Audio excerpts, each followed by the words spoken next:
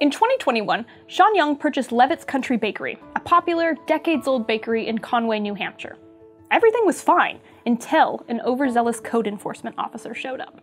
Leavitt's has been here for 45 years, and when the previous owners went to sell it, we had heard there was a lot of interest. Um, some people wanted to make it a gas station or a pizza shop, but Leavitt's is a bakery. That's what it's been for 45 years, and we wanted to keep that tradition going. Not only did Sean want to make sure Leavitt's remained a bakery, he also wanted to make sure it remained a community gathering spot. In spring 2022, Sean was presented with an opportunity to get the community even more involved with Leavitt's. So we were approached by the local high school art department and the art teacher, and they're looking to do a project with their students. And we thought that we had the perfect backdrop right above our door, and they asked, and of course we said yes. So there was a lot of local people and customers that wanted to help decide the content of the mural, but I believe you can't tell an artist what to paint, um, so we left it up to the students. After six weeks of hard work, the students unveiled their mural to Sean, Leavitt's customers, and the Conway community.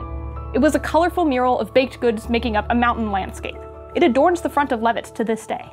So we didn't know what the students were painting, and at the big reveal, we were pleasantly surprised. We loved it. We thought it was awesome. It's here in the White Mountains, so it's the sun setting over the mountains, and mountains are made of donuts. Who doesn't love a donut?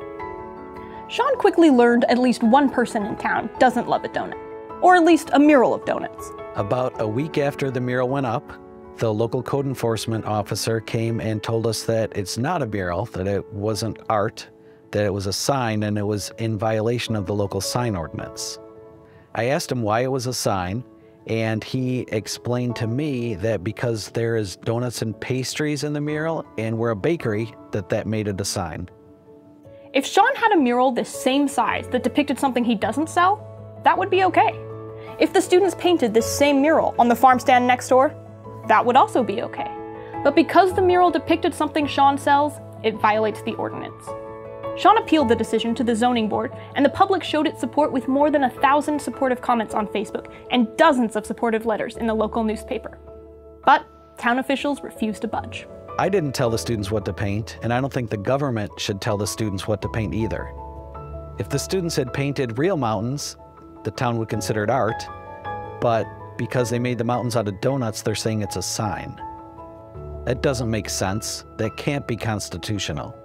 Last December, the town gave Sean an ultimatum paint over the student's beautiful mural or leave it up and risk daily fines of $275. But Sean didn't want to destroy the student's creative vision, so he teamed up with IJ and sent the town a letter urging them to reform the sign ordinance and allow for beautiful murals like the one atop Leavitt's.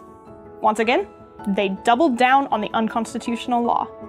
So in January, Sean and IJ filed a lawsuit against Conway, arguing this ordinance violates the First Amendment, when the government treats some murals as art and others as not, based on who made them and what they depict, that's not just wrong, it's unconstitutional. I'm teaming up with the Institute for Justice to keep the students' mural and to give the town of Conway a civics lesson on the First Amendment.